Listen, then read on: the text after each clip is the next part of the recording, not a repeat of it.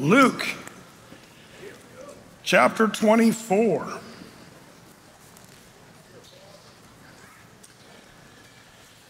How long has it been since we last finished the book of Luke? 14 years, four months, and 28 days ago, uh, which is kind of interesting. Uh, you know, uh, you know, the, through the Bible teachings, uh, how many have we had? Uh, have you ever wondered how many teachings? Now, I'm not talking about how many services, that'd be a whole nother number, but um, how many sermons have I prepared or teachings, uh, you know, that I've given on, on this time through? The, the answer is 1,333 teachings uh, to get through the Bible. Uh, that's 658 weekend services uh, and 675 Wednesday night Bible studies, uh, as it turns out. So it's kind of interesting. That's, that's kind of just some statistics for us. Um, and it's our second time through, which is kind of fun. So uh, uh pretty cool. Uh, now, I, I, is Kit Gaucher? There's Kit right there. And, and is Tracy somewhere near? I, where's Tracy? Oh, and there's Tracy. Okay, I just wanted to point these two ladies out because I think they might be the only people in the room that I know of that were here at the very first teaching Athey Creek ever did. Um, yeah, um, that's pretty, that's, that's great. Uh, Tracy and Kit. Um, the only reason I know that's probably is because I think you guys are the only ones there. Uh, we were up in the little pool house up on, uh, what was that, Salamo Drive, that little pool house up in um, Cascade Summit area there. There's a little pool there. And the pool house, that, Tracy was able to open that up for us, and we started our first Bible studies up there, and Kit and Tracy were there. A couple other people. Uh, is Brian Christ here? Brian, are you in the room? He's, he might be up at the farm church, maybe. Brian, you're here? Brian was also there. So, uh, yeah, there was actually a guy there too. Brian holding down the fort. Uh, yeah, that's right. I, I think, is there anybody else that was in the pool house that I'm forgetting? Nope, I think that was it. Because I remember it was like three people. Uh, that was. But man, it's great to have you all here, and it's fun to finish up Luke. Let's get to it. Um, we, uh, on uh, Sunday, went over that section um, uh, about the, um, the, the, you know, the Emmaus Road. So we've covered some of this a little bit on, on uh, Sunday and, and Saturday. But um, it's kind of fun, kind of fun being able to uh, finish up the, the story here. Um, and it's the most powerful part of the story. We have the resurrection of Jesus Christ. Every Christian, in my opinion, should make themselves be an expert on the resurrection of Jesus Christ. The reason why is because the truth of Christianity, every, everything that's true, uh, hinges on whether Jesus rose from the grave or did he not rise up from the dead. Um, Jesus would say, you know, uh, you want a sign? Uh, I'll give you a sign. If you destroy this body in three days, I will raise it up from the de- dead. So every Christian should be able to defend, you know, the resurrection and, and maybe even explain it and, and, and be good at that. So if you're interested, by the way, um, because, you know, Resurrection Sunday, we tend to talk about the the resurrection of Jesus over and over again, uh, year after year. The, um, if you want to do, we've done a whole bunch of teaching on the resurrection and um, you know ver- the verification of Jesus, who he claimed to be. Um, you know, it's Romans chapter one, verses three and four. Paul the apostle kind of puts it interestingly. Um, it says there in Romans one, three and four, he says um, concerning his son Jesus Christ our Lord, which was made of the seed of David according to the flesh and declared to be the Son of God with power according to the Spirit of holiness by the resurrection from the dead. Now that's a mouthful there, isn't it? But how did Jesus confirm his claims to be the Messiah? It was by the resurrection of the dead that confirms that. Um, you know, um, that's John chapter 2, by the way, verses 18 and 19, when the Jews said, Show us a sign, you know, that, you know, what you're doing is, is legit, you know. And, and Jesus said, Destroy this temple, and in three days I will raise up his body being the temple in that case. Um, now, for some people say, I don't know, you know, the whole story of the Bible, and Jesus was a good teacher and a good prophet, but the whole resurrection thing, I don't know, seems a little hard to believe. And sadly, there are those who will try to discount the resurrection and they'll say, oh, Jesus merely, you know, swooned. That was one the professor that told me that in college, you know, that Jesus, the Christians believe Jesus rose from the grave, but he merely swooned, which the word swooning, I didn't even know what that meant. Swoon, like it sounds weird. What is swooning?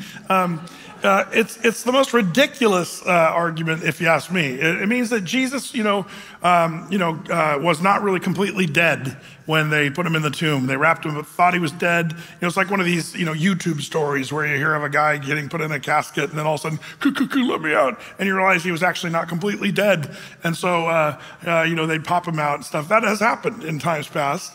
Um, and so some people try to say that's what happened. They thought he was dead, but he wasn't really dead. Um, but what a ridiculous, uh, you know, belief. Um, you know, if you if you think that the resurrection uh, from the dead is a hard thing to believe, swooning's even harder, if you ask me, because Jesus was beaten with a whip of a flagellum, uh, which many people would die just from that. He was beaten by the Roman soldiers, nails in hands and feet, hung on a cross. The Romans were experts on death. They knew what dead looked like, and they were good at that. That was their expertise. Um, then a spear in the side, just to make sure he was dead, and out came a flow of blood and water, which um, those that are forensic medicine people, you know, doctors that sort of, uh, you know, uh, assess how a person died, they believe literally that kind of gives us uh, education about Jesus, how he died. Literally of a burst heart where there was a mixture of blood and water coming out of his side. It's evidence of that. Um, and, and then, you know, he's dead, he's laid in a tomb, and three days later he rose from the grave. So, so to believe in the swoon theory, you have to believe he went through all that, and the moist, cool air of the tomb just made him feel so much better. Uh, and he got up and thought, "Oh man, I'm awesome!" And then he and then he pushes a two-ton stone out of the out of the opening of the tomb, uh, and then fights through the Roman soldiers on his way out, uh, feeling that peppy. Uh, and um, like like if you don't believe in the resurrection of Jesus Christ, you should probably take some time and really study that. I love, you know, some of the secularists who made it their job to say, I'm going to disprove Christianity. And it was always this point of the resurrection that would actually not disprove Christianity, but actually only reinforce it. Guys like Lee Strobel, who wrote The Case for Christ, and what a great story of a guy who made it his life goal to disprove Christianity only to be convinced. And the resurrection was sort of the, the key part. Um, that's why we need to know the resurrection. Acts chapter 17 uh, also reminds us there. It says that uh, at times of this, um, of this ignorance God winked at, but n- now commandeth all men everywhere to repent, because he hath appointed a day in which he will judge the world in righteousness by that man whom he hath ordained, whereof he hath given assurance unto all men that in that he hath raised him from the dead. Um, this is a sobering uh, word. This whole raising Jesus from the dead um, is really quite shocking. Uh, you know, that, that that's going to be the very thing that will judge the world, uh, it says in this section of scripture. When everything's done and you stand before God in heaven, the biggest point you'll have against you if you uh, did not accept Christ is not believing the resurrection of Jesus Christ. If Jesus Christ didn't raise up from the dead, then Christianity would not be true, and we should pack up our Bibles and just go home and watch TV instead of spend time at a Wednesday night Bible study.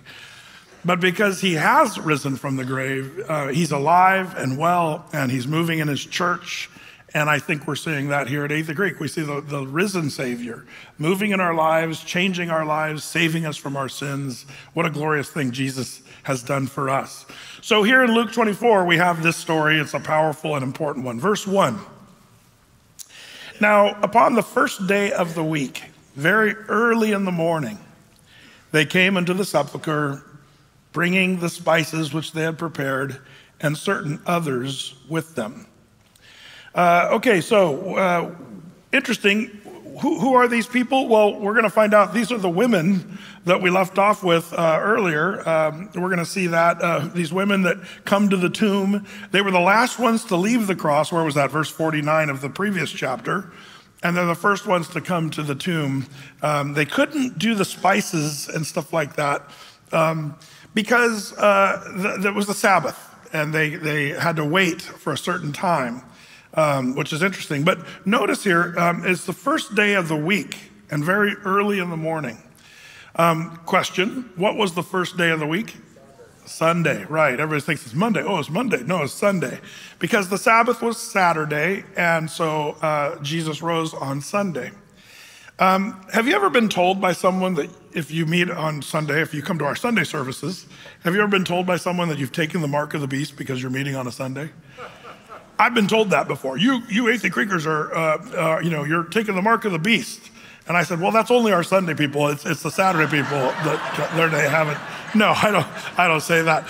Um, there's some extreme, not all the, uh, some of the Seventh Day Adventists, some some of them, and some others will believe if you're meeting on a Sunday, you're, you're you know taking the mark of the beast. And there's a whole, you can find websites and stuff like that that sort of argue that.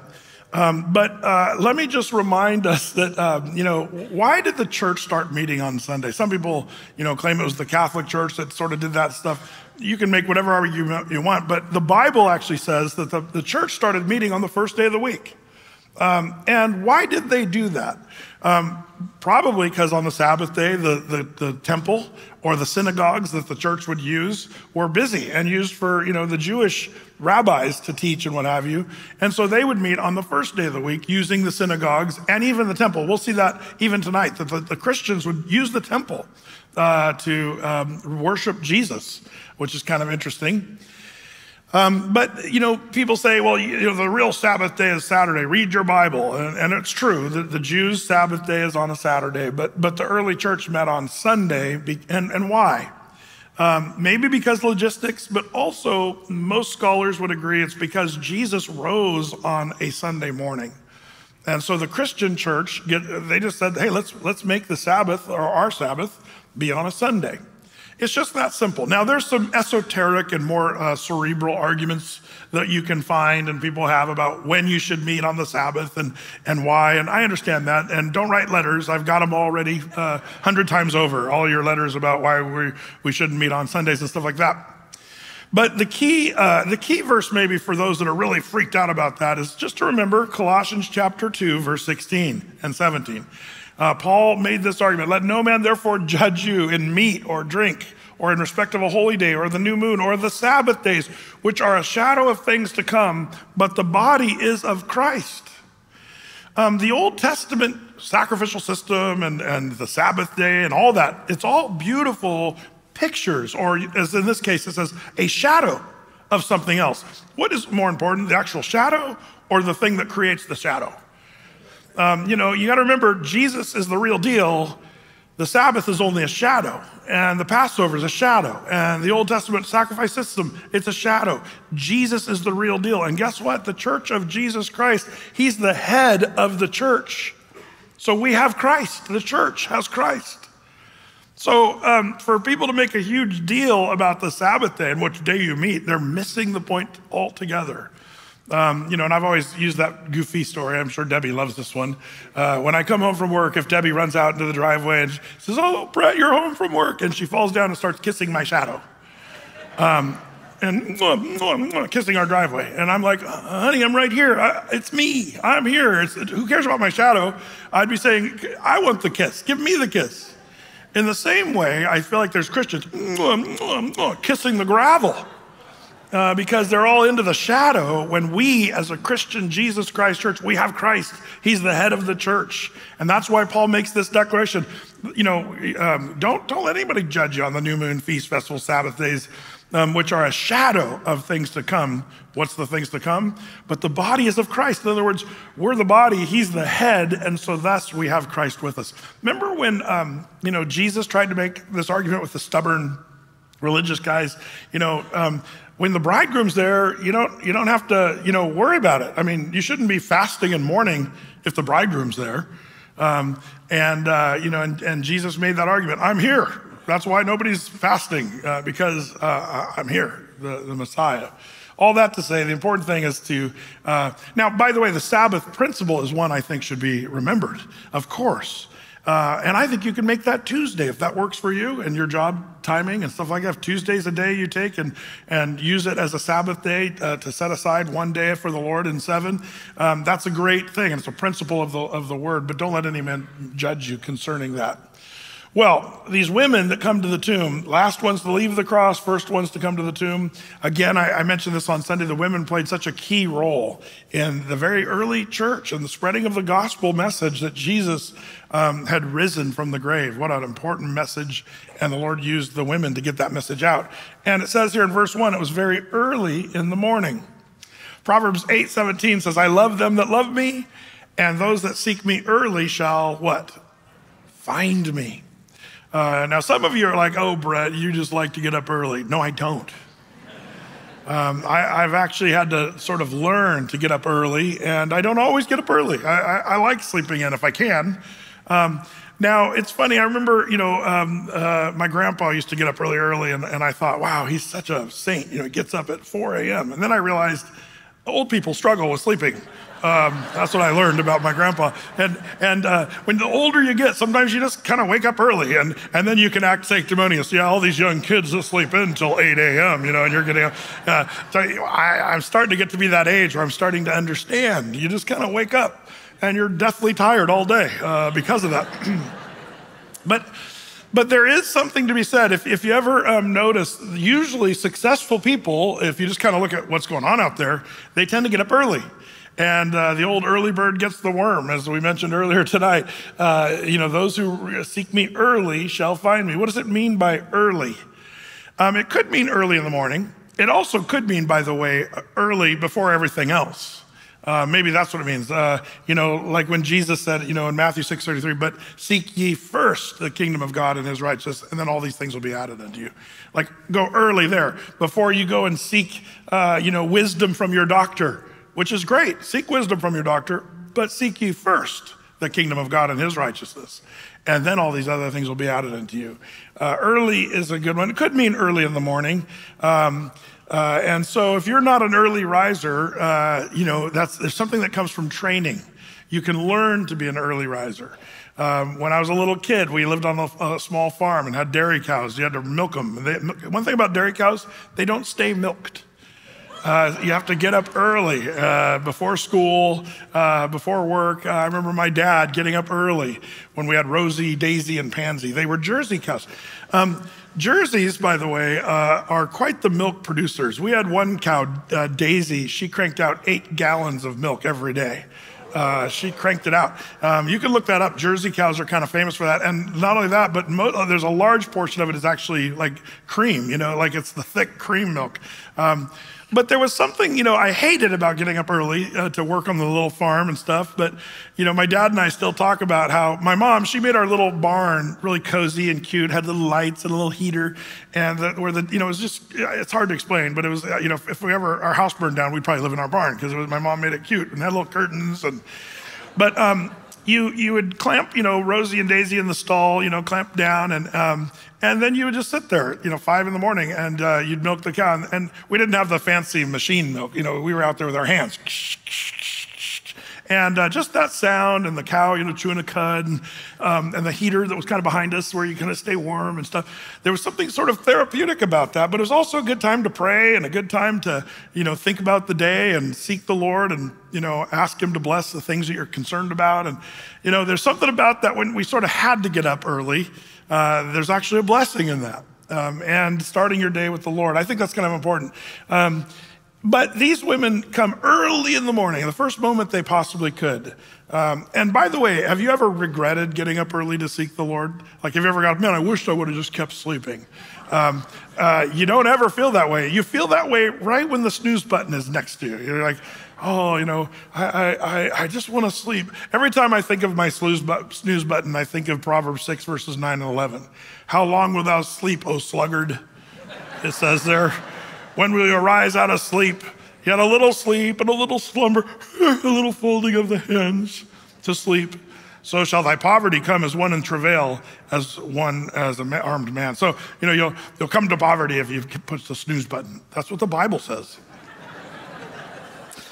But anyway, these ladies are bringing the spices which they had prepared. Why are they bringing spices? It was part of the burial process. Uh, it wasn't just like bringing flowers and setting them next to a, a grave. It was actually part of the, uh, the preserved, uh, preserving of it. Now, what's interesting about this, um, uh, Jesus' burial needed to be quick, if you recall, because of the Passover, if, if you remember our previous readings. But uh, Luke 23, 56, if you remember, they returned and prepared spices and ointments and then rested on the Sabbath day according to the scripture. Uh, that's what they did. So this is their first chance to really do it correctly. And that's why they're showing up early to uh, continue the embalming sort of process and what have you. Um, what was their plan to move the stone uh, to get into the tomb? Does anybody remember? Right. They had no plan. I, I, again, I love these ladies. They just go, we don't know how we're going to get the stone out, uh, out of the tomb, but we're going to just go. Sometimes you have to go, but you don't know how the Lord's going to work stuff out. Have you ever had your life in that situation where you know the Lord's calling you to do something? You don't really know the how, but you know that the Lord's called you to do it. And, and that's something that the Lord takes care of. And uh, so uh, we'll see that, how the Lord takes care of that here. But there, uh, what was their plan uh, for having the stone moved? They had no plan. Um, remember the old Keith Green song? I love it. You know, just keep doing your best, pray that it's blessed, and He'll take care of the rest. Um, I have found that to be true, uh, that the Lord is faithful in all those things. So I, I, really love these ladies. Their faith to just trust the Lord, to do what was right, um, seeking Him early, pretty powerful. Verse 2, it goes on.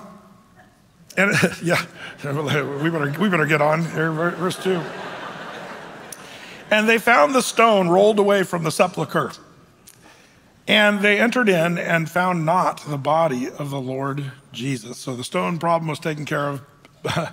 but verse 4 and it came to pass, as they were much perplexed thereabout, behold, two men stood by them in shining garments. Interesting, two men described here in Luke, uh, mysteriously, though, having shining garments. Um, uh, other gospels uh, mention that they're angels. They, the other gospels call them angels. So we do know they're angels, but here in Luke, just two men with shining clothing. Um, but it says there in verse 5 And as they were afraid and bowed down their faces to the earth, they said unto them, Why seek ye the living among the dead? He is not here, but he is but is risen. Remember how he spake unto you when he was yet in Galilee saying, The Son of Man must be delivered unto the hands of the sinful men and be crucified, and the third day rise again. And they remembered his words and returned from the sepulchre and told all these things unto the eleven and to all the rest. Um, this is great. Why do you seek the living, uh, you know, among the dead? Uh, and, and they're kind of like, you know, I wonder if they had puzzled looks on their face. No, he's dead. We saw him. He was dead. But then I love what this angel says. He says, Remember these angels. Now, before we talk about what these angels say, um, do you believe in angels? Um, you know, it's interesting. Oftentimes, angels do appear uh, as men. The Bible even tells us that. In Hebrews 13, verses 1 and 2, it says, Let brotherly love continue. Be not forgetful, forgetful to entertain strangers, for thereby some have entertained angels unaware. Um, so, uh, you know, isn't that interesting? Um, I'm always a little leery when people write a book. I saw an angel, or you know, touched by an angel, or whatever their you know claim is, uh, because the Bible says you'll entertain angels, yes, but you'll be unaware of it, uh, which is kind of an interesting deal. So I'm a little skeptical sometimes of the, you know, I saw an angel or whatever. Maybe, maybe you did, maybe you didn't, but um, it says here you'll see them un- unaware. So um, isn't that amazing to think about how somebody, maybe even sitting next to you tonight, is an angel? Probably not. Um, you're like, no, my husband's deep, deep undercover, deep undercover uh, as an angel. Uh, no. Um, it's funny how articles have been written, books have been seen about, uh, you know, angels and stuff like that, but the Bible says we'll be aware, unaware. The Bible also, um, you know, the big question do you have a guardian angel? Um, there's kind of an interesting question about that. Um, if I do, uh, I have a few questions I want to ask my guardian angel when I get to heaven. Like, where were you, dude, uh, when I needed you? Uh, like, I don't know, maybe. I don't, but um, you know, you know, I'm not sure we have an airtight case against the, the, uh, you know, this idea of a guardian angel. Where does the guardian angel idea come from? It comes from Matthew 18:10, where uh, you know Jesus said, "Take heed that you despise not one of these little ones." For I say unto you that in heaven their angels do always behold the face of my Father which is in heaven. So, the, in the context of this whole chapter, by the way, Matthew chapter 18, the little ones could either apply to those who believe in him, God's children generally, um, which is in verse 6 of that same chapter, or it could refer to the little children, uh, the little actual children. Maybe children only have a guardian angel that is over in charge of them. Um, but this is kind of the key passage we have. Um, and so uh, the question is do we have guardian angels? I'm not sure you can say airtight for sure. Um, and if that makes you bummed out, it shouldn't. I'll tell you why. Um, in the end, whether we have a guardian angel or not assigned to protect us, Um, do you know that you have even a greater assurance of safety and blessing than a goofy angel? Now, I'm, I got to be careful. I know angels aren't goofy, but compared to God, they are. And the Lord says, I will never leave you nor forsake you. And the Lord says, I'm working all things together for good in your life. Like we have God who's, you know, with us, who will never leave us. So, you know, this guardian angel thing, I think maybe people make too much of that perhaps. Um, but just a few things about angels. Angels are created beings. Um, they're definitely not to be worshiped uh, that we read in the Bible. 1 Corinthians 6 3 um, uh, tells us something odd. It says, Know ye not that we shall judge angels? How much more things that pertain to this life?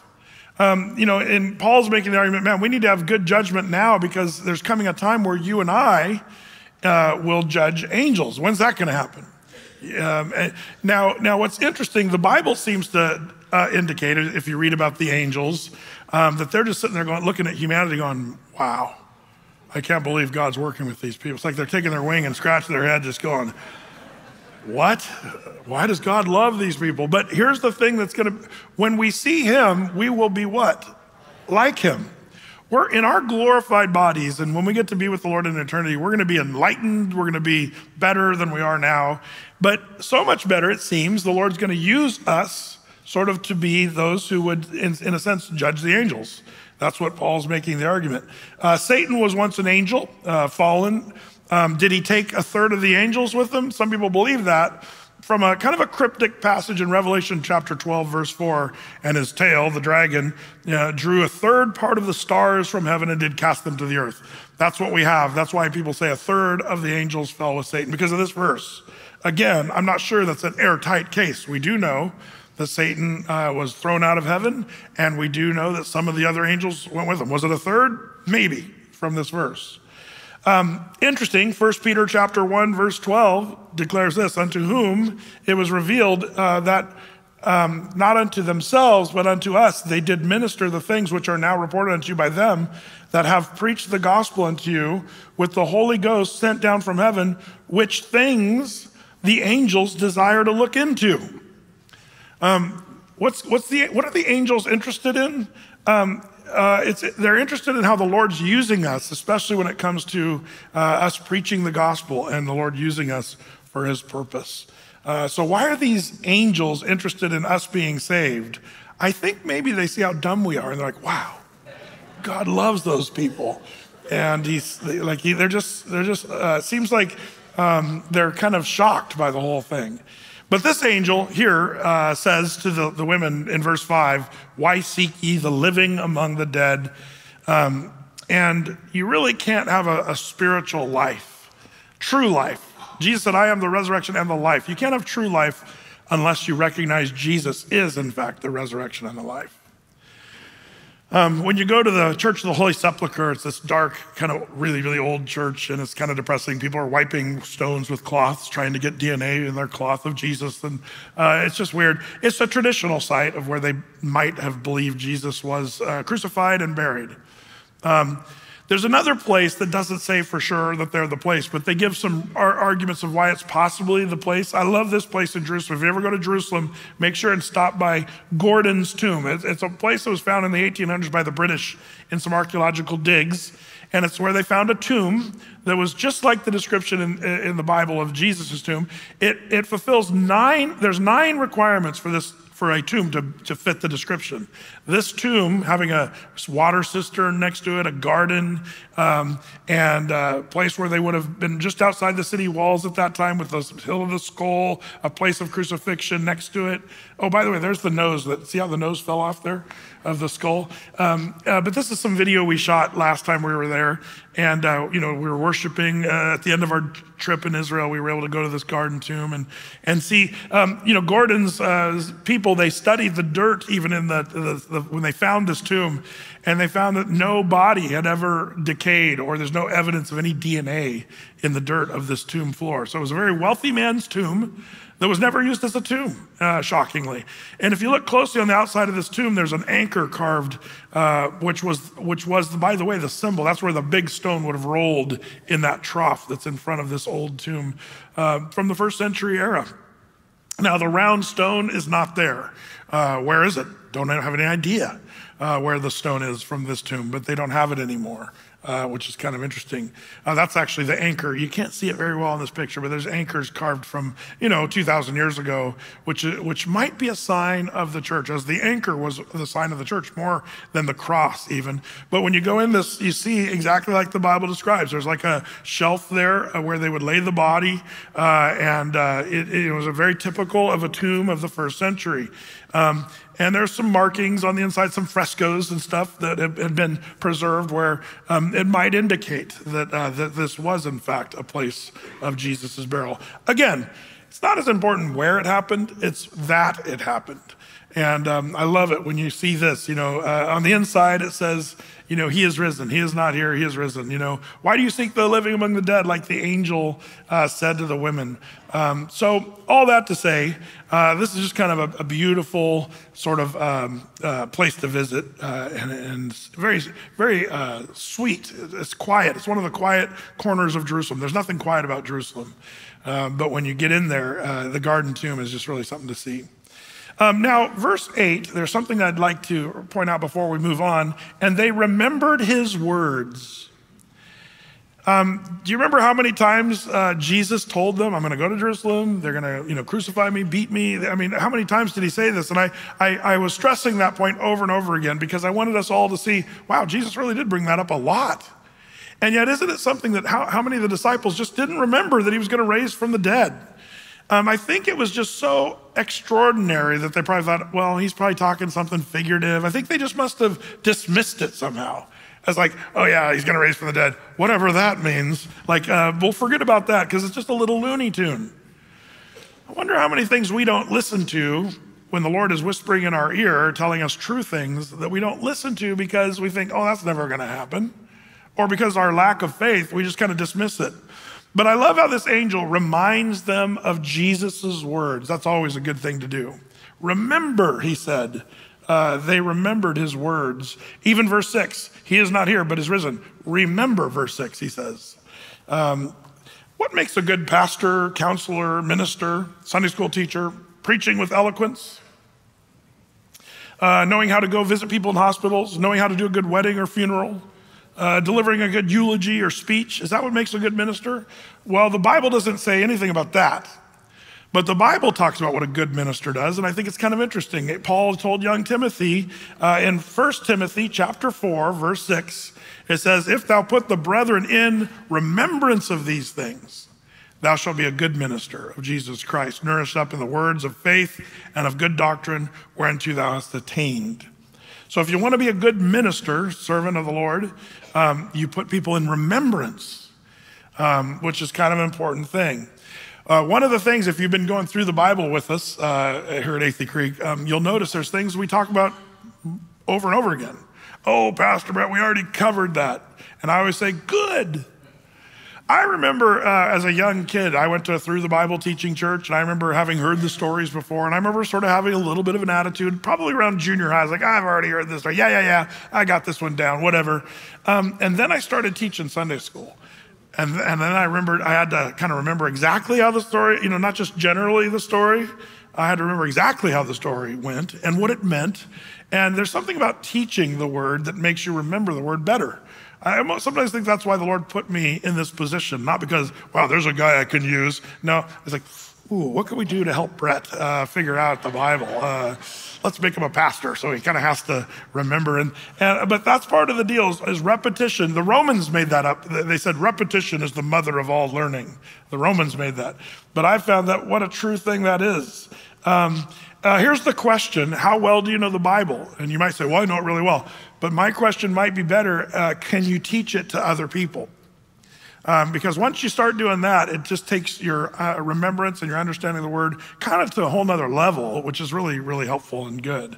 Um, and it's important that we teach the word to others. There's people that will never set foot in this church on a Wednesday night Bible study because our parking lots were not big enough. Uh, no, no. There's, there's some people that won't come to this church because they just, that's just something they would never do. And I, I wonder if maybe it's your job to say, I'm going to take what I learned here, even in repetition, and continue to pass it on to others. Um, so the question is, how well can you teach others? Um, you know, when we talk about the 70 weeks of Daniel, can you explain that to people? Because that's, that's an amazing thing in the Bible that's really helpful. Uh, like I said earlier, can you defend the resurrection of Jesus and talk about it and know the details of it? First Peter chapter 3, verse 15 and 16, but sanctify the Lord God in your hearts and be ready always, it says, to give an answer to every man that asks you a reason of the hope that is in you with meekness and fear, having a good conscience that whereas they speak evil of you as of evildoers, but that's true today, isn't it? People calling Christian e- Christians evildoers, um, that they may be ashamed that uh, that falsely accuse your good conversation in Christ. The word conversation is probably better translated lifestyle, a good lifestyle, and you're supposed to be ready, having an answer of the reason of the hope that we have in Christ. Um, that's something we're all called to do. And that's why I love going through the Bible, even though, like, for example, the Gospels, we have gone Matthew, Mark, and Luke. We've had the same stories several times. Um, but that's great because repetition is the mother of learning. Get, get into the habit. If, if you want to be wise, get into the habit when you hear something again, instead of saying, oh, yeah, I've heard this before, um, say, oh, I'm going to dial in the story even that much more, having heard it again right now and let that repetition really drill it into our hearts that we might learn. Uh, very important. Well, back to this text here. Uh, it says there in verse 10. Now, this is a bummer. Remember, i t- I'm kind of talking about how great the women are and how goofy the men tend to be? Well, this even gets worse. Uh, this is so classic right here. Verse 10 It was Mary Magdalene and Joanna and Mary, the mother of James, and other women that were with them which told these things to the apostles. That's exactly what the uh, angel told them to do. Remember in verse 9? Go tell this to the rest of the guys. So they went. Verse 11, and their words seemed to them as idle tales, and they believed them not. Um, the, the, the, the, Greek word here for idle tales is leros, uh, which means uh, babbling of an insane mind. I'm not going to say anything about that. Um, are you a husband or a man that when a woman talks, you kind of go, oh, that's just, well, I, am not going to say babbling of an insane mind, because none of you would think that. Uh, but I do think there's a thing where men do tend to tune ladies out. Now, by the way, I've caught my wife Debbie tuning me out sometimes too. So it can go both ways. I'm, you know, but men, we tend to be the worst at that one, uh, quite frankly. Um, and here's the disciples going, yeah, these are just the ladies, idle talk, you know, babbling of an insane mind. Uh, you know, like they're just dismissing these women. Um, it's kind of sad, uh, you know, how the disciples are missing the most important truth that was going to ever be declared throughout all human history that Jesus rose from the grave. And these ladies are coming earnestly saying, You guys, he is risen. He's risen from the dead. Like, yeah, whatever. You guys have been drinking your bathwater again. Like, uh, the ladies, you know, these spiritual ladies being weirdos. Um, so sad that the disciples, it's gonna, it's gonna like take the Lord smacking them upside the head to say, come on, I really have risen from the grave. Um, Mary Magdalene, by the way, seems to be the one leading this charge, interestingly enough. Um, did you know that it's kind of interesting that St. Augustine referred to Mary Magdalene as the apostle to the apostles? And, um, and this is where you kind of see that maybe, where, you know, the apostles were sitting there going, yeah, Jesus died. And then this one was sent by an angel uh, to go and talk to the disciples, hey, he's risen. So, verse 12, then arose Peter and ran to the sepulchre. And stooping down, he beheld the linen cloths uh, laid by themselves and departed, wondering in himself at that which was come to pass. Uh, he's like, I wonder what happened here. Uh, maybe the, you know those ladies are sort of right. The tomb is empty, and here's his grave clothes, uh, which is kind of interesting. Uh, the word cloths or clothes, it's plural, uh, which is kind of interesting. Um, and um, when it says he beheld the linen clothes, it, you know, um, this is one of the main reasons, by the way, I don't believe the Shroud of Turin is real. Uh, if you do, great, good for you. If you believe it's authentic, good for you. I don't believe it's real. There's a couple reasons why. One of the reasons is the biblical description doesn't talk about one piece of cloth. It talks about several cloths, is the idea. The plural here is kind of important. Um, but the Shroud of Turin, if you don't know what it is, of course, it's famous as being you know, the holy relic. Uh, they claim, you know, some people claim this is the cloth that covered Christ. Another reason I, I think that it's probably not true is because it looks more like the surfer from California, Jesus than maybe the real Jesus would have looked. Uh, if, you, if you know uh, his ethnicity and the place in the world and stuff like that, um, is this a, you know, sort of a forgery? Uh, that's the big debate. And if you've been watching, there's shows that show how it's authentic, there's shows that show how it's a forgery, and they've been going back and forth for decades on whether this Shroud of Turin is the one that, you know. Um, the reason why I really don't get into this is even if it is the cloth of Christ, I, I sort of resist this stuff. Um, and the reason why, it's the same reason why, you know, the king smashed the brass serpent with the pole that Moses had made. Because remember, they started to worship it. And if there's one thing the church is guilty of, is worshiping these relics. Um, on our Paul's missionary journeys to, you know, on our trip that we're taking this August with Athey Creekers, we got a sailing vessel, 170 Athey Creekers signed up. We're going to go, and one of the places we're going to end up going is Rome. Uh, and we're going to go see St. Peter's Basilica in Rome. Uh, and uh, this is last time we were there. We shot some footage. And um, one of the things that's going to be really shocking when we, if you've never been there, is how, uh, you know, thou shalt not make unto thee any graven image. And people are like worshiping a lot of these images and statues. And it just gets kind of really weird. There's dead popes you can go see, and they're not, they're like in glass coffins. You can see their faces. And they're like, see, he looks as good as the day he died. It's like, no, you probably should cover it up. It's, you know, he's all wrinkly like a raisin. It doesn't look very good anymore. Uh, cover But if you go in here, it's, it's beautiful architecture and the artistry is amazing. Um, you know, it's just, it's an incredible place, really, and it's worth seeing. Um, but it just kind of sickens you when you start seeing, like, you know, when they get to St. Peter's, uh, you know, there's a there's a statue here. I'll show you here in a second. There's, you know, St. Peter, and he's sitting on this this statue. But if you look at, uh, we got a little video of what I've always talked about here. Um, see how smooth his his his right his right foot is. People go and they line up to kiss his foot, and they've been kissing it for centuries. For so long, they've been kissing it. Um, that he no longer has any toes. And they've kissed his toes clean off, ptomaine poisoning. Um, uh, it's embarrassing. You couldn't get me to put my lips on that if you paid me a thousand dollars, man. That's so gross. Even if I had a handy wipe. Um, question: What do you think Peter would think about this? We kind of know because the disciples, when they saw people worshiping them, they did stuff like they ripped their clothes and said, "We are not gods. We are men." Um, I think Peter would reject St. Peter's Basilica in Rome. Uh, just read your Bible. But because of tradition, uh, people have been kissing these toes clean off. Uh, by the way, uh, this, is, this is after they repaired it. Uh, did you know they repaired the toe? I don't know how they did it. Maybe some JB weld they put on there and, you know, got it all back into toe business. Um, but they've since, you know, kissed off the JB weld or whatever they used to, to uh, sort of bring it back. Um, but that's irreverent toward the Catholic Church. Um, I believe it's one of the biggest problems with, the, along with some others. The Roman Catholic Church gets really kind of weird when it comes to these relics. Um, the Bible even, you know, talks about the Ark of the Covenant. Even the Ark of the Covenant. Remember, it will save us. It will deliver us. Did it save them against the Philistines? No, the Philistines crushed them and stole the Ark of the Covenant. Um, and the Lord, I think, has a way of saying, you know what, I'm not into, you know, I, I, will use these symbols like the brass serpent.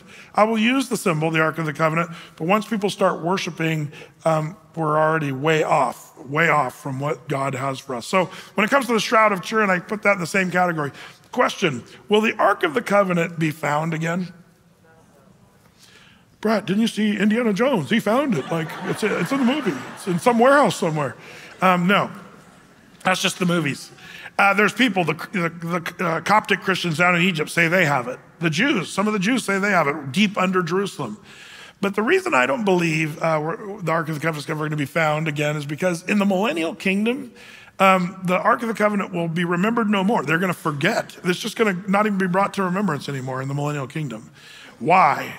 Um, again, that's part of the shadow. We're going to have Christ ruling in Jerusalem during the millennial kingdom. You don't need the Ark of the Covenant because you have Christ there. Well, watch out for relics, especially if you have kind of a Catholic heritage in your family and you know you've seen the head of John the Baptist. Well, which one? The one in Jerusalem or the one in Rome? Have you ever thought about that? one, one tour guide was, you know, asked, um, how can there be a head in Rome, but also a head of John the Baptist, you know, the skull of John the Baptist and the skull in Jerusalem. But the skull in Jerusalem is much smaller, and, and they say because it's older, it's the real one. But the tour, the quick thinking tour guide would ask, how is there two skulls? And he said, well, the one in Jerusalem is when John the Baptist was a child, and the one here is the skull when he was an adult. So it gets loony, pretty loony, pretty fast.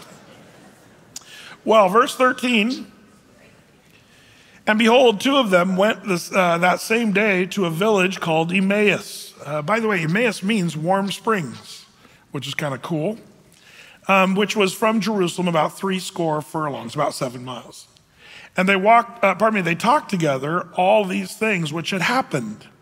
And it came to pass that while they communed together, they reasoned, Jesus himself drew near and went with them. Um, notice the, there's a bit of a, a graduation, a pro- progression, I should say, of conversation. First, they're talking together, then they're reasoning together, which is sort of a little higher level of conversation, from just talking to reasoning. Um, and then um, notice what Jesus says here, verse 16, but their eyes were holden that they should not know him. And when he had said that unto him, what manner of communications are these that you have done, uh, that you have one to another as you walk and are sad. The, um, this interesting word, the what manner of communication is this? Um, the idea is maybe implied here in the Greek language uh, a, um, a heated conversation. It went from you know just a discussion to sort of reasoning about what, what was going on with Jesus dying and being buried in a tomb. And now it's gotten to this sort of a conversation, and Jesus just kind of shows up and he, uh, he says, Hey, what, what, you know, what manner of communications are these? Like, why are you guys all heat, heated up talking about something with intensity? Is sort of the idea. Um, have you ever noticed sometimes you think you're talking with someone, but you're actually yelling at them or, you know, talking at them? That's kind of the impression that I get when these guys are sort of arguing a little bit about what's going on. And Jesus is like, hey, what are you guys, what's the contention about? Um, well, verse 18, and one of them, whose name was Cleopas, answering said unto him, Art thou only a stranger in Jerusalem and hast not known the things which are come to pass in these days? And he said unto them, What things? I love that. What things? Um, now, uh, you know, it's interesting. Uh, here's where we sort of ask that question Why do these people, after Jesus died on the cross and rose from the grave, why do they not recognize Jesus? Big question. Uh, it's, it's, it's kind of a funny thing. Um, I'm not sure I know the answer to all those stories. John chapter 20 is kind of the first one, uh, verses 15 and 16, where remember Jesus saw Mary there, and supposing him to be the gardener, she, she didn't recognize Jesus. Um, uh, you know, uh, so why did she not recognize? Well, you know, the people speculate, well, she's weeping. Jesus said, Why are you weeping, woman? And maybe the tears in her eyes blurred her. Uh, maybe he was afar off. Maybe, you know, he was standing kind of further down in the garden. And, and it was also very early in the morning and darkness. So some people say maybe she just didn't recognize him um, because it was dark and she was weeping and it was, he was off gardening, seemingly. And so she just assumed that he was the gardener. Uh, maybe that's it. Uh, another instance, remember the disciples were out fishing. John chapter 21, verse 4. Uh, but when the morning was come, Jesus stood on the shore, but the disciples knew not that it was Jesus. How could they not know it was Jesus? Again, the distance early in the morning. Maybe they just didn't recognize him at first because he was so far away. But, but then it happens again here. Um, and you say, yeah, this one's face to face. I mean, these guys are walking and talking with Jesus. So you can't get over the tear thing or the distance. Why is Jesus not recognized here? Well, this, this one gives us the answer. Did you see it? It already told us the answer um, there uh, in verse 16. But their eyes were holden that they should not know him. Why did they not recognize Jesus? Because for some reason, Jesus wanted himself to be supernaturally veiled. And we know that for this case. Kind of interesting. Um, could it be that Jesus did the same thing with Mary, the same thing with the disciples when they were fishing? Maybe, you know, you might say, well, Brett, why would Jesus want to supernaturally veil himself so that they wouldn't recognize him at first? Don't know. Um, I wonder, however, if, I mean, I'll, I'll, just throw out some theory to you. Uh, uh, maybe if, have you ever noticed that when somebody who's famous or exalted or well known says something, people get all dizzy and they don't even really hear and they don't they they, they kind of miss the point altogether. I wonder if Jesus would have said, you know, just showed up as Jesus. I wonder if they would have just freaked out and fallen down. But Jesus, especially with these two guys, he's going to explain to them something that's profound. Christ in the Old Testament, as we talked about on Sunday. I wonder if Jesus said, I want these guys to hear something, and if I show up as Jesus, they're not going to hear a word I say because they'll be all, You're risen from the grave. But they won't hear what he has to say. I wonder, maybe Jesus just said, I've got work I need to do, and I can't have the whole celebrity thing get in the way of the message that I want to share with these guys. So he supernaturally veils the eyes of these two guys. Um, and we'll see when the Lord will take the veil off, and suddenly they'll recognize him. Um, so this is a supernatural intervention of why these guys can't see who Jesus is. And I believe Jesus had good reason. I'm not sure that's the reason, the one that I gave you, but that's just offering one possible uh, uh, possible thing. Uh, does anybody remember when did they actually recognize Jesus in the story? Right, when he broke the bread at the table. Um, I wonder if the Lord said, oh, "Watch this." As he's breaking the bread, they're like, "What? That's Jesus." We were walking with, now they're all dizzy and freaked out and celebrity and out, like, oh, Jesus is here. But they still had a calmness enough before to hear the message that he shared, which is kind of important. Um, did he look, did he make himself look different? Uh, maybe slightly, maybe with the same, maybe with the scars. Some people argue that his face was scarred from the beating. Uh, maybe, you know, he just didn't look the same. There's all kinds of um, uh, reasons people, but I have no problem with just the Lord veiling his identity uh, before the, this, these people. It's okay to believe that, I think. Well, verse 19 goes on. It says, He said to them, What things? And they said unto him concerning Jesus of Nazareth, which was a prophet, mighty in deed and word before God and all the people. Interesting that they, they talked about Jesus as just a prophet. Um, verse 20, and how the chief priests and the rulers delivered him to be condemned to death and have uh, crucified him. Uh, but we trusted that it had been uh, he which should have redeemed Israel or saved Israel. And beside all this, today is the third day since these things were done. Yea, and certain women also of our company made us astonished, which were early at the sepulchre. And when they found not his body, they came saying that he um, had also seen a vision of angels, which um, said he was alive. And certain of them which were with us went to the sepulchre and found it even so as the women had said, but him they saw not. So they explained to Jesus what happened. He already knew. But Jesus says, verse 25, said to them, O fools, and slow of heart to believe all that the prophets have spoken, ought not Christ to have suffered these things and to enter into his glory? Jesus is just saying, all, you know, all these things have already been written. You should have kind of known. Now, when he says fools, this is a rough translation because we, we always say if you call someone a fool, um, it's insulting. And there is a place in the Bible says if you call your brother a fool, you're, you're like, uh, that's, that's one of the sins of the Sermon on the Mount. You don't want to do that. You're guilty of like murder and stuff. So, but the word here is not fool as we would say. Um, uh, it's the Greek word ano etos, which means um, people of little understanding. He, he's saying, you guys that don't understand. That's what he's saying. Um, they're having a rough time understanding. He's not calling them idiots. He's having compassion on them, and he's now going to teach them the truth. And that's where it says in verse 27 at the beginning of Moses and all the prophets, he expounded unto them all the scriptures, uh, the things concerning himself. And they drew nigh unto the village where they went and made as though he would have gone further. But they constrained him, saying, Abide with us, for it is toward the evening, and the day is far spent. And he went into the tarry with them. It's like Jesus said, Yeah, okay, nice seeing you guys. See you later. And the guy's like, What? Don't let him go. Come and stay with us. I, I love this. Uh, it makes me wonder what was Jesus doing? Was he messing with them? Like, yeah, it's nice talking with you guys. We'll see you later. And they're like, Please stay with us. You, you just told us stuff that's really important. He's like, Okay, you got food? I'll come. and it came to pass, verse 30, as he sat at meat with them, he took bread and blessed it and brake it and gave it to them. And verse 31, their eyes were opened and they knew him and he vanished out of their sight. That's amazing. Like they're kind of like, oh, great. We just realized he's Jesus and now he's gone. Um, but what a confirmation of the time they had spent. And what did they think after that? Well, the Bible tells us, verse 32 and they said one to another, Did not our heart burn within us while he talked with us by the way and while he opened to us the scriptures?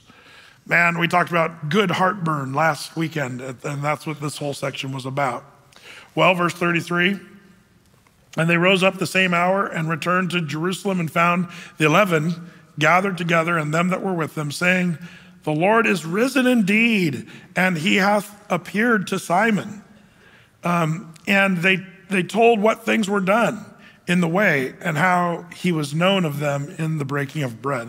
So they kind of explain all this stuff. Now, um, there was this time, it seems that Jesus showed up to Peter uh, specifically. We don't know for sure when that was, by the way. When Jesus just shows up to Peter, it seems like by himself. There's a hint in 1 Corinthians uh, 15, verses 4 through 6. It says, And at that, um, he was buried and he rose again on the third day according to the scripture, and that he was seen of Cephas. That's another word probably for Peter. And then of the 12. And after that, he was seen above the 500 brethren at once, of whom the greater part remain unto this present, but some are fallen asleep or some are dead now. So when Paul was making this argument of the resurrected Jesus, more than 500 people saw Jesus in his resurrected form. If you have 500 eyewitness accounts of a resurrected Jesus, that's pretty good. If you have a court case and you have two witnesses, man, you got an airtight case. But if you got a court case with 500 witnesses, um, that's, that's what we have with Jesus. Pretty amazing. Um, but I love it, verse 35. He was clearly seen there when he was uh, breaking the bread. How can you see Jesus the clearest? At the table of communion. I think that's where we see it. Breaking bread, remembering the broken body and the shed blood of Jesus, something we should do often. Verse 36 And as they had thus spoke, uh, Jesus himself stood in the midst of them and said unto them, Peace be unto you. But they were terrified and affrighted and supposed that they had seen a spirit. And he said unto them, Why are you troubled? And why do thoughts arise in your hearts? Behold my hands and my feet, that it is I myself. Handle me, see me, for a spirit hath not flesh and bones, as you see me have. And when he had thus spoken, he showed them his hands and feet. By the way, this is a key passage because there's some of some of the heresies and preachings and teachings of weird groups of past that when Jesus rose, he was he was simply a spirit and he wasn't really a body. This, this does that in. These people touched him, and he says, I'm flesh and blood, blood just like you guys, bones. Um, and he ate food, you know. Uh, I, I, remember reading, I think it was the Gnostics that sort of believed that Jesus would put food up to his mouth after he rose, but he never really put it in. He would just kind of hold it up and then put it down. That's not the Jesus I know uh, Jesus seemed to like food. And even here, he's like, Oh, you got some food? Let's eat. Um, I think Jesus was just as much physical body in this part of the story as he was in the other. Well, verse 41 and while they yet believed, um, uh, not for joy, and wondered, um, he said to them, Have ye here any meat? Oh, he's hungry again. Love it. and they gave him a piece of broiled fish and of honeycomb. So, honey glazed salmon sounds pretty good to me. I mean, if you have to eat fish, that's the way to eat it. Um, and he took it and did eat before them. And he said unto them, These are the words which I spake unto you while I was yet with you, that all things must be fulfilled which were written in the law of Moses and in the prophets and in the Psalms concerning me. Then opened he their understanding that they might understand all the scriptures. Oh, that's my prayer. Verse 45 Lord, Open to us as we read through the Bible, open to us our understanding of all the scriptures. Oh, pretty awesome. Verse 46 And he said unto them, Thus it is written, and thus it behooved Christ to suffer, to rise from the dead the third day, and that repentance and remission of sins should be preached in his name among all nations, beginning at Jerusalem. And you are witnesses of these things. Here in verse, um, you know, verse 46 and 47, it's such a key. What are we supposed to be preaching? Um, I think it's so important to remember to preach both repentance, verse 47, and remission of sins.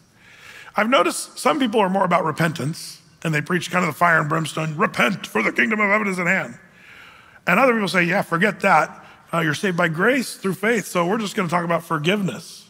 Um, the problem is you need to teach both things. The two things should be taught. You got to teach repentance of sins. Jesus said that right here. but you also need to teach about remission. If you only go to one, you might miss uh, the main part of the gospel. You got to have both. It's both. That's a little bit my problem with He Gets Us campaign. Um, they left out the repentance part. That just He gets you the way you are. Just be like the way you can be gay, you can be on your way to get an abortion, you can be doing all these sinful stuff, uh, but He gets us. And they just leave it there. Um, but there is there's an important point. You, you need to repent from your sins. So repentance and remission of sins. We, we want to teach both in balance uh, very, very important. Verse 49 And behold, I send the promise of my Father upon you, but tarry ye in Jeru- the city of Jerusalem un- until you be endued with the power from on high. The Greek word for power, anybody remember what that is? Dunamis, where we get our word dynamite. This is where Jesus says, Go wait in, in Jerusalem, and uh, I'm going to give you power, which is the Holy Spirit. We're going to read about that in Acts chapter 1. well, there in verse 50, and uh, he led them out as far as to Bethany, and he lifted up his hands and blessed them. Does that re- remind you of anything? Does anybody remember else who else in the Bible would go out in front of everybody and lift up their hands and bless the people? The high priest. Read Leviticus chapter 9, verse 22. That's one of the times where he'd lift out and bless the people. I, I kind of see this beautiful picture here. Verse 51 And it came to pass while he blessed them, he uh, was parted from them and carried up into heaven. This is his ascension. Um, and verse 52 they worshiped him and returned to Jerusalem with great joy. Um, after Jesus rose from the grave and then ascended in heaven, what, what did the church do? Well, we come to the last verse, verse 53. The church, what did they do? They went to Jerusalem with great joy and were continually in the temple praising and blessing God. Amen. Man, I love that. And there it is, the end of our Through the Bible study, lap number two. Yes. That's great. yes. Well, Lord, we are so thankful. Uh, we're so thankful. We, we too, we applaud you and your, your holy word. And make us like this early church, Lord, that, that was uh, praising your name continually and giving glory to God for all the things of your word, Lord. And I, I pray that Athey Creek would be not just into studying your word, but be worshipers in spirit and in truth, Lord. Um, how, how thankful we are for your word. We're excited to pick it up in John and just keep going again, Lord. And I pray you just continue to reveal yourself to us that we might know you better.